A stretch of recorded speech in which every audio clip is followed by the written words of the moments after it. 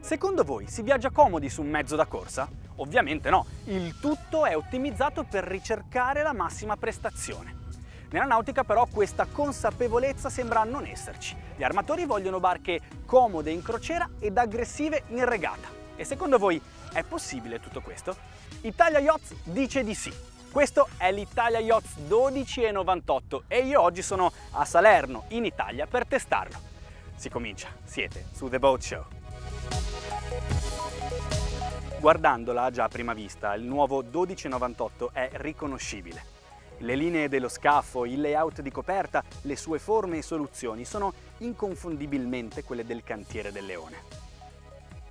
Questo è un obiettivo di estrema importanza per chi vuole dare un'anima, caratteristica ed unica alle proprie imbarcazioni. A poppa la spiaggetta removibile aprendosi concede un accesso al mare ma in regata questa rimane a terra. Entrando in pozzetto si notano già molti dettagli che caratterizzano le due versioni di questo modello. La versione fuori serie è più sportiva, attrezzata in coperta con un rigging aggressivo e tecnico. Noi oggi siamo sulla versione bellissima, tech in coperta e una soluzione per un armo easy sailing. E poi sotto coperta, beh, eh, lo vedrete, lì Mirko Arbore ha espresso tutta la sua personalità. Due panche sospese aumentano la percezione di larghezza dell'area di poppa. Qui l'accessibilità alla cala e allo stivaggio per la zattera. La timoneria è semplice e funzionale. Doppia ruota con doppia bussola analogica e strumentazione con plotter madre a dritta. Due coppie di winch gestiscono tutte le manovre da quello che può essere considerato il pozzetto di manovra. Prua via le torrette di timoneria. Qui le panche non si prolungano troppo verso poppa perché questo spazio è davvero fondamentale. Da questo punto si può condurre comodamente tutta la barca, forse l'unica pecca è che non c'è spazio per stivare il cordame. Al centro delle due panche un tavolo in tecca ribalta facilmente rimovibile. Le forme della tuga, la sua finestratura allungata, sono ormai una firma inconfondibile del cantiere. Le rotaie longitudinali del fiocco sono recessate sugli spigoli della tuga, ma ovviamente, prova via l'albero, c'è la possibilità della rotaia dell'auto virante. Il rollafiocco, nella versione bellissima, è manuale. La delfiniera è di misura ridotta per la crociera con il punto di mura per il frullone e l'uscita dell'attack del Gennaker. Il musone dell'ancora è integrato. In questa configurazione l'albero è in alluminio e non in carbonio, ma il piano velico non è diverso dalla versione da regata fuori serie. Se in coperta l'anima è quella di un puro sangue da corsa, sotto coperta la visione di Mirko Arbore ha virato su una proposta diversa. Il suo intento è stato quello di creare un clima il più possibile confortevole e casalingo per chi dopo essersi divertito al timone scende al coperto per rilassarsi. Per fare questo, la scelta dei materiali e la gestione della luce hanno giocato un ruolo fondamentale. Il tessuto, caldo ed accogliente, avvolge tutte le paratie con sfumature di colore, per aumentare la profondità e la percezione dei volumi.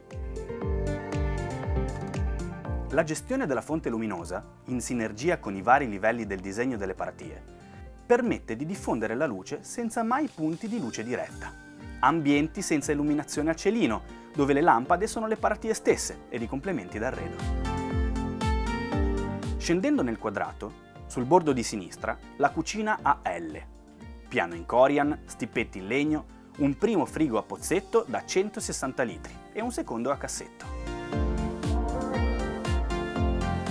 Dettaglio da non trascurare il TNT bene in acciaio a fianco al lavello e quello ricavato dal tavolo da carteggio, perché anche se la sensazione deve essere quella di casa, non bisogna mai dimenticarsi che in barca ci sono delle esigenze imprescindibili, tipo la sicurezza.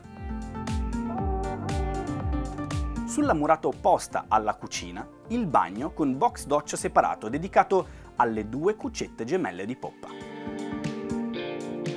La zona del carteggio, come in molti altri modelli, è stata rimpiazzata da un divano ampio e comodo, ma la strumentazione di bordo è qui, dietro alle veneziane in tech massello.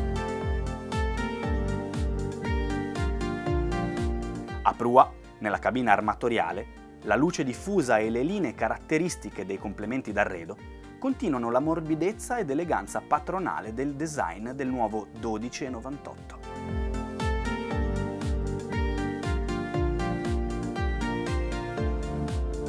Bagno armatoriale nella versione fuori serie verrebbe impiegato come vano spogliatoio per cerate bagnate o storage.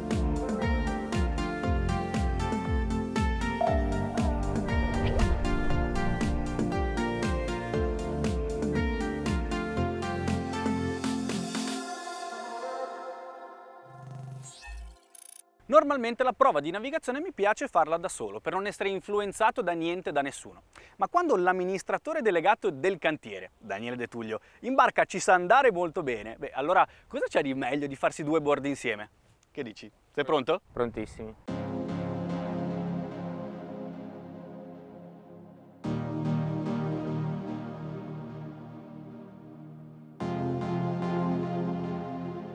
Questa barca, il 1298, è una barca ricercata nei minimi dettagli ma soprattutto scientifica. Il disegno è un pochino romantico no? della matita del progettista qua è stato bypassato e si è arrivati direttamente al computer che ha tirato fuori nove scafi che avete fatto regattare in regate virtuali e poi alla fine ha vinto questa i nove scafi che sono risultati quelli non solo più veloci, anche più efficienti in termini di navigabilità, eh, li abbiamo messi a confronto eh, in una fase poi finale abbiamo veramente sviluppato delle regate da 6 a 20 nodi con i tre scafi che a noi risultavano i più veloci.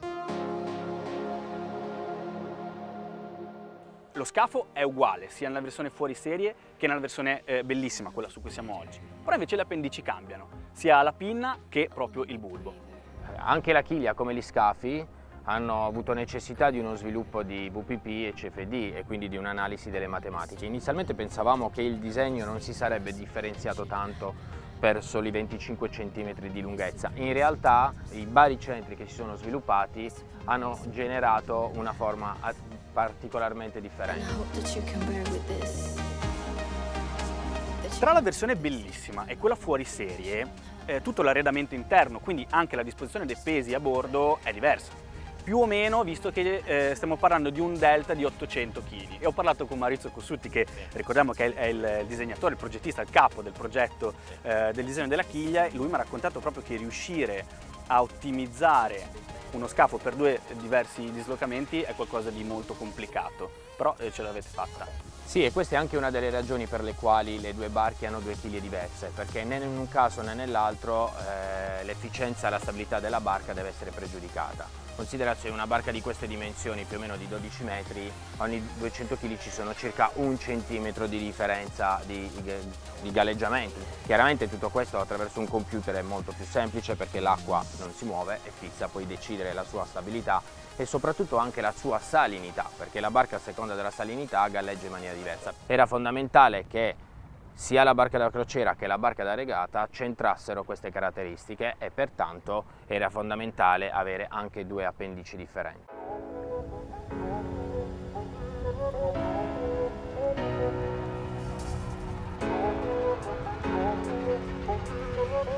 Già risalendo su al vento, andando un po' di bolina, la sensazione al timone è impressionante perché eh, quello che percepisce è come se fosse un grande dinghy il progettista Cossutti è partito dal disegno di una barca stretta, ottimizzata per il Mediterraneo, soprattutto ottimizzata per le boe, per arrivare primi anche in reale alla bodybolina. Sì, diciamo che soprattutto sulle regate in Mediterraneo, upwind, downwind, un elemento fondamentale è comunque generare una barca molto veloce di bolina, certo.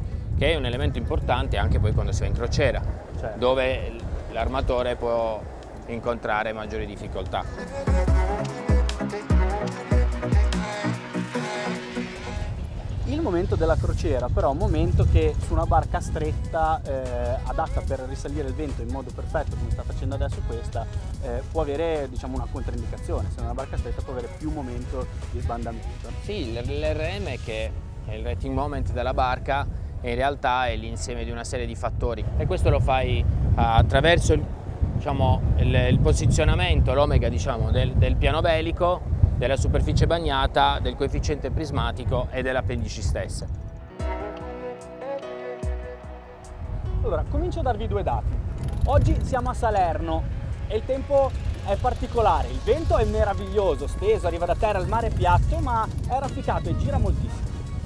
Sono sicuro che possiamo arrivare a superare, o perlomeno a scendere sotto, i 30 gradi all'apparenza. 7 nodi punto 4 e siamo a 28 gradi, 11.8 i nodi di pressione.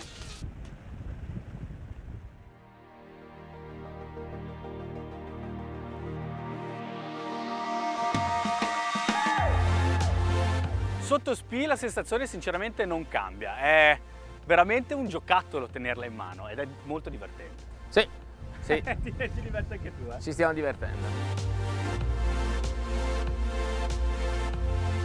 Siamo su 140 adesso, 11 nodi punto 2 di pressione, ne stiamo facendo 9.9, 10.2. Beh, direi sempre non male.